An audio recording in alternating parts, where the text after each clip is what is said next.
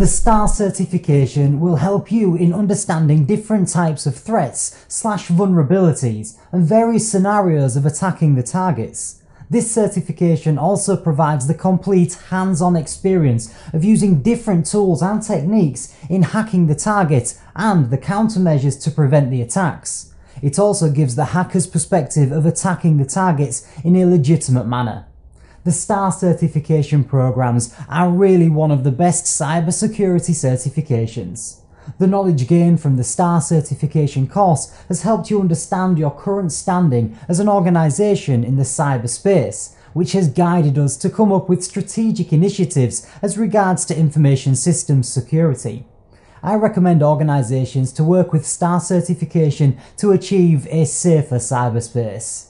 STAR certifications are really interesting certified courses to study which provided many of the real world scenario and hands on for organisations.